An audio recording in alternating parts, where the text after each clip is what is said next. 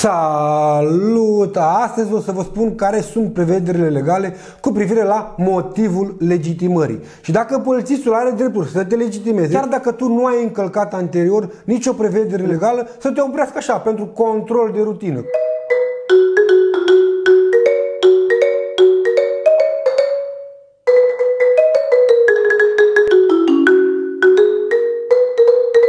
Vreau să încep prin a vă spune că prin exemplele folosite în acest vlog nu generalizez și nu mă refer la toți oamenii, pentru că majoritatea sunteți oameni de bună credință care nu aveți probleme cu legea și care, drept dovadă, nici nu ați fost legitimați vreodată de poliție sau dacă ați fost legitimați, nu v-a deranjat acest lucru pentru că nu aveți nimic de ascuns și înțelegeți că asta este meseria polițiștilor. Voi, de exemplu, de ce nu vă apucați să vă filmați vecinii care opresc pe interzis sau să mergeți cu telefonul la magazinul de la colț să-l întrebați de ce n-are afișat programul sau să mergeți la primărie să filmați pe acolo și să puneți tot felul de întrebări. De ce? Asta înseamnă că voi nu vă iubiți țara sau că sunteți corupți sau că susțineți corupția? Nu! Pur și simplu voi sunteți oameni raționali și nu sunteți foști turnători la securitate care au rămas fără obiect de activitate în prezent. Dar știu că pe internet există tot felul de persoane din astea uh, pseudo-securisto, comunisto, activisto, turnători care provoacă și instigă oamenii la nerespectarea legii pe motiv că, vezi, doamne, polițistul nu are voie să uh, te legitimeze sau să te oprească în trafic decât dacă ai încălcat legea. Ei bine, vreau să vedem asta, dacă este adevărat sau nu este adevărat, pentru că, într-adevăr, legea 218 privind organizarea și funcționarea poliției române are niște prevederi care stabilesc clar situațiile în care polițistul poate să legitimeze o persoană. Și vreau să vă citesc exact cum spune legea, apoi o să vă spun cum este și în practică. Articolul 34. Polițistul este îndreptățit să legitimeze și să stabilească identitatea persoanei numai în situația în care a. Calcă dispozițiile legale. Există motive verosimile pentru a bănui că persoana pregătește sau a comis o faptă ilegală. Doar dacă există și bănuiala. Vedeți? Nu trebuie neapărat ca polițistul să constate că tu ai încălcat legea, este suficient ca polițistul să aibă bănuială. Deci legea lasă la aprecierea polițistului dacă ești sau nu ești bănuit de săvârșirea unei fapte ilegale sau că vei săvârși, după cum vedeți în următorul articol, care spune așa, există motive verosimile pentru a bănui că aceasta a fost prezentă la locul săvârșirii unei fapte ilegale, ori are cunoștință despre această faptă, autor sau despre bunurile având legătură cu fapta. Deci dacă polițistul are bănuiala că ai fost prezent la săvârșirea unei fapte ilegale, indiferent că e contravenție sau infracțiune, polițistul are dreptul să legitimeze persoana. Practic, legiuitorul spune că polițistul nu are voie să te legitimeze fără niciun motiv, dar lasă la aprecierea polițistului dacă este sau nu este un motiv întemeiat, dacă are sau nu are o bănuială.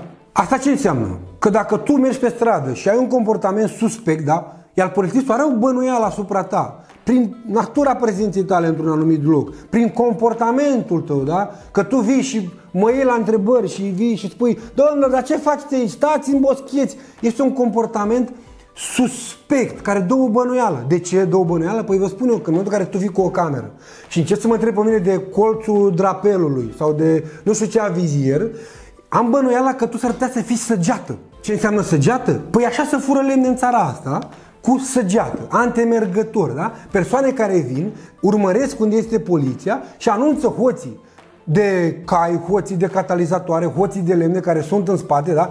Uh, traficanții de țigări care sunt ascunși undeva și spune, vezi, unde e șeful de post?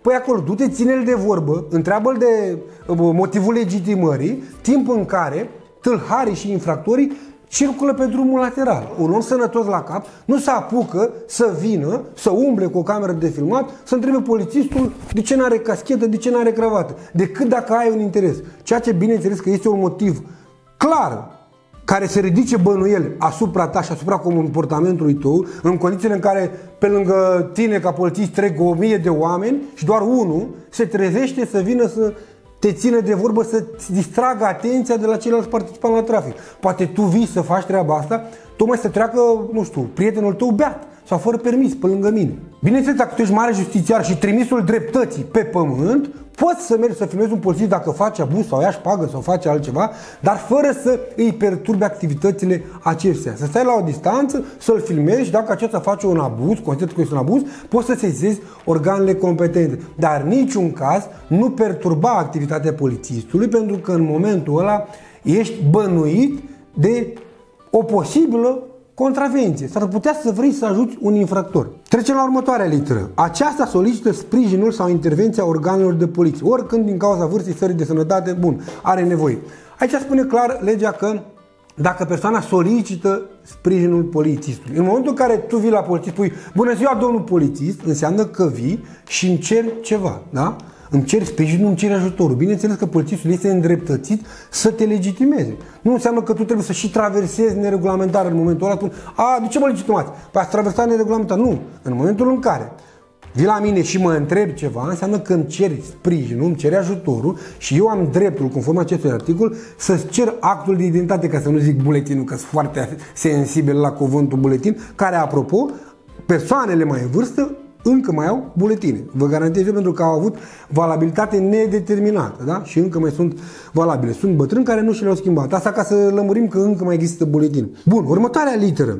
Descrierea acesteia corespunde unei persoane căutate potrivit legii, deține asupra sa bunuri sau se deplasează cu un vehicul, embarcațiune ori aeronavă care corespunde descrierii unor bunuri sau mijloace de transport căutate potrivit legii. Ca să lămurim cum se aplică acest articol, da?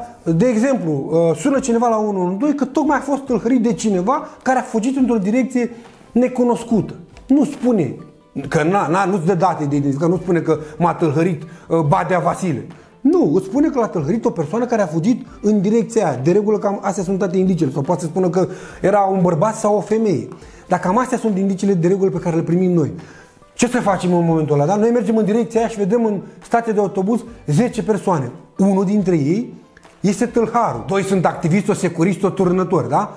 Și atunci eu ce fac? Mă duc la nu știu care este tâlharul, da? Nu știu, habar n-am, pentru că omul nu mi-a spus decât că este o persoană care a fugit în direcția aia și este bărbat și am 10 bărbați. Ce fac? Bineînțeles că mă compor cu toți 10 ca și cum ar fi fiecare tâlharul.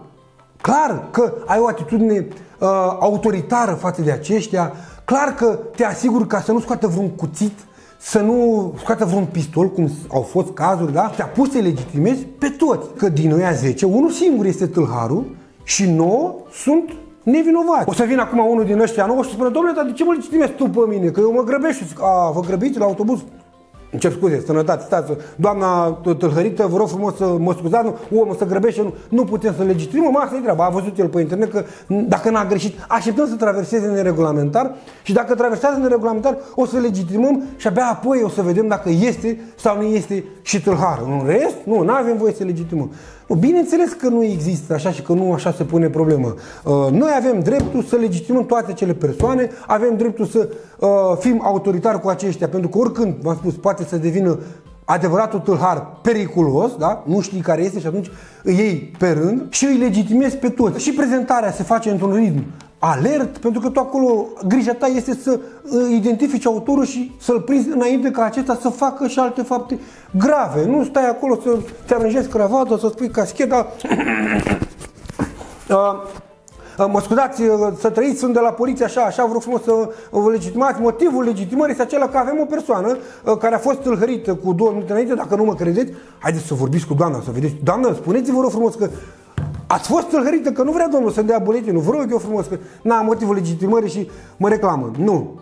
Nu o să fie niciodată un polițist sancționat pentru că a legitimat pe cineva uh, fără ca acesta să încalce anterior legea. Nu, pentru că altfel nu poți să-ți mai desfășori activitatea ca polițist. Exact cum v-am spus mai înainte, da? Până stăm noi să le prezentăm la fiecare ăia, din ăia 10 motivul legitimării și să stai, să te prezinți frumos și elegant, s-a dus dracului și tâlhar și tot și nu mai găsești niciodată pe nimeni. Bun, acum o să star la ultimul articol, puteți să le citiți și pe celelalte, o să vi le pun pe ecran, care practic completează ce am spus eu mai devreme, spune că polițistul poate și cu ocazia unor controle sau razii efectuate în condiții articolul 31 alineatul 1 litera G. Deși în cazul în care se fac controle și razii, polițiștii pot să legitimeze și să oprească pe toată lumea, efectiv fără niciun motiv, fără nicio suspiciune, fără nicio bănuială. Aceste prevederi sunt cu caracter general și se referă atât la pietoni, bicicliști, căruțași, la persoane atât pe domeniul public cât și pe domeniul privat, dar codul rutier, da? că vorbim acum mai mult de poliție rutieră, vine și adaugă și mai dă un motiv în plus polițistului să oprească autovehiculele. Și anume, articolul 179, alineatul 2 spune așa. Din o, regulamentul de aplicare a OG 195, dacă vreți să verificați că, na, noi nu ne limităm doar la alea două articole, noi mai știm și alte articole. Polițistul rutier sau polițistul de frontieră, da, aflat în punctul de trecere a frontierei de stat, care acționează în echipajul mixt, are ca principale atribuții litera A să oprească vehiculele pentru control și să verifice documentele pe care conducătorii acestora trebuie să le aibă asupra lor. Vedeți că acum codul rutier vine și uh, dă mai multe drepturi polițistului de a opri autoturismele fără ca acesta să încalce și o regulă de circulație, dar fără să treacă pe roșu, fără să depășească pe linie continuă. Uh, îi dă pur și simplu dreptul polițistului acest articol să oprească autoturismele în trafic pentru a verifica documente. Pentru că eu, ca polițist, nu am niciodată de unde să știu dacă șoferul care trece pe lângă mine este beat, drogat, fără permis de conducere sau poate este urmărit internațional. Nu ai de unde să știi aceste lucruri și cum faci? Oprești aleatoriu da, în trafic autoturismele și în momentul ăla verifici legalitatea documentelor. Pentru că dacă n-ar fi așa, gândiți-vă, n-ar mai fi opriți foarte mulți conducători auto beți și drogați. Un procent de peste 80-85% din cei identificați anual sunt identificați în astfel de controle de rutină. Ceilalți sunt identificați pentru că au făcut accident. Sunt foarte puțini care au intrat în radar, de exemplu, sau care au depășit pe linie continuă în fața polițistului, merge polițistul, îl oprește și ulterior constată că era beat sau că nu avea permis de conducere. Ăștia poate sunt 1%. Așadar, legiuitorul a înțeles aceste pericole și îi dă dreptul polițistului să facă controle de rutină, chiar dacă nu prevede în mod expres, dar să verifice legalitatea documentelor. Pentru că noi nu suntem așa cum cred alții ca în alte state, că stai așa și treci pe lângă mașina de poliție și noi te scanăm și după numărul de matriculare și după față ne putem da seama când îți expiră ITP-ul, asigurarea, ă, dacă ai permis de conducere valabil, ce categorie ai, câte puncte ai și tot, tot, tot. Și dacă a trecut unul fără permis, să aprinde așa un bec roșu pe ecran și fugind după tine și te luăm din trafic. Nu, încă n-am ajuns la nivelul ăsta de tehnologie, Așadar, suntem nevoiți pentru siguranța noastră a tuturor, că asta înseamnă prevenție, da? să identifici persoana care a încălcat legea înainte să facă un accident, să facă o faptă gravă. Așadar, nu le mai luați apărarea acestora care instigă la încălcarea legii, vezi, Doamne, de ce l-a oprit polițistul fără motiv? Pentru că este în defavoarea noastră a tuturor, nu a polițiștilor, în defavoarea societății, pentru că așa vor crește persoanele care merg beți, care merg uh, uh fără permis de conducere, drogați, care fac accidente și vom avea cu toții de suferit. Iar acum vreau să vă spun și care este sancțiunea pentru conducătorii auto dacă refuză să se legitimeze. Codul rutier spune că se aplică o amendă de 870 de lei și 4 puncte de penalizare, respectiv refuzul înmânării actului de identitate, permisului de conducere, certificatul de înmatriculare sau de înregistrare, a celorlalte documente prevăzute de lege la cererea polițistului rutier, precum și refuzul de a permite verificarea vehiculului.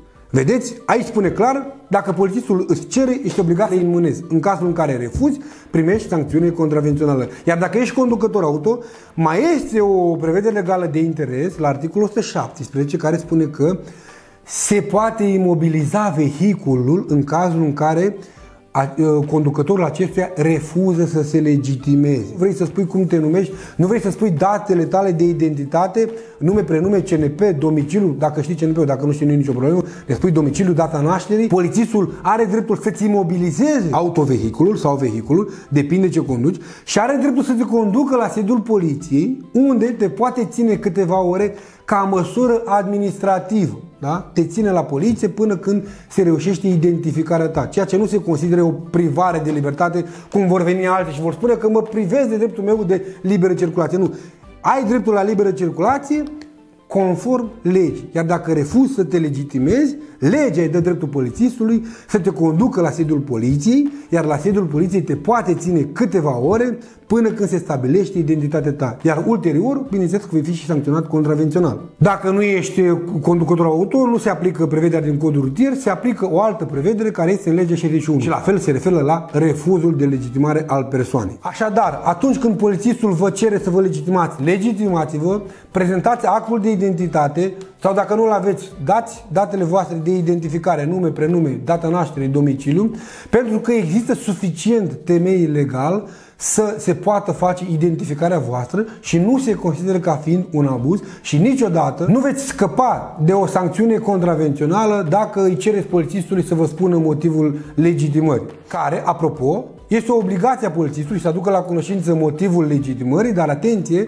că legea nu spune că trebuie să se aducă imediat, poate să ți-l spună și ulterior, după ce s-a făcut identificarea conducătorului auto. N-are rost să vă complicați, n-are rost să începeți să vă contraziceți cu polițistul și nu vă luați după aceste persoane care vă învață la tot felul de instigări și provocări, pentru că nu poate să fie decât în defavoarea voastră și trebuie să înțelegeți că și ei sunt conștienți că ce spun acolo este pe lângă lege, dar fac treaba asta pentru vizualizări, că prinde la oameni. Atunci ei preferă să primească o amendă de câteva sute de lei pentru refuz de legitimare, pentru că știu că pozează în victime, câștigă simpatia oamenilor și atunci fac și vizualizări, oamenii le dau și donații și își recuperează amenda de vreo 50 de ori. Nu faceți altceva decât să picați în plasa lor. Studiați legea și colaborați cu autoritățile statului, iar dacă vă simțiți abuzați, simțiți că ați fost nedreptățiți, faceți voi o plângere organelor superioare. Nu trebuie să vă plângeți pe internet,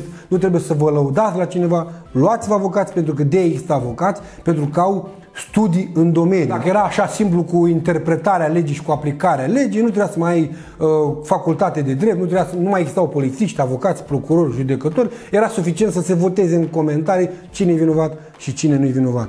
Vă mulțumesc că m-ați urmărit. Sper că aceste informații să vă fie de folos și să înțelegeți că polițiștii sunt în sprijinul cetățenilor, dar în conformitate cu prevederile legii. Până data viitoare, fiți de bună credință și nu refuzați să vă legitimați atunci când vă cere polițistul.